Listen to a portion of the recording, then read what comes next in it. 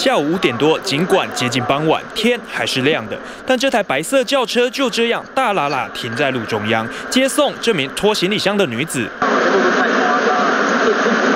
真的太夸张！机车骑士会这么生气，不是没有原因。尽管汽车整齐停在格子里，但他停的是待转格，机车根本没有地方能等红灯，他气得抛网控诉。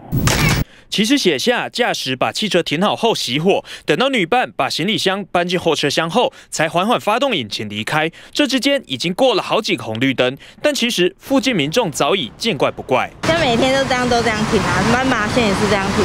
这样子，这样子，哎，因为这就是哈，人拢要来这坐车。这里是台中市太原火车站底下，时常就有民众接送，贪图方便。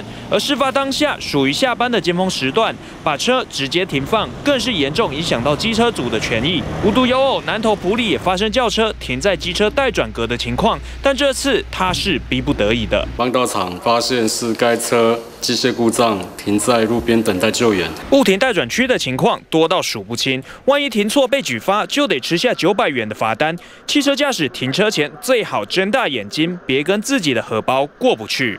记者徐玉文、曾伟祥、张志凯，台中南投报道。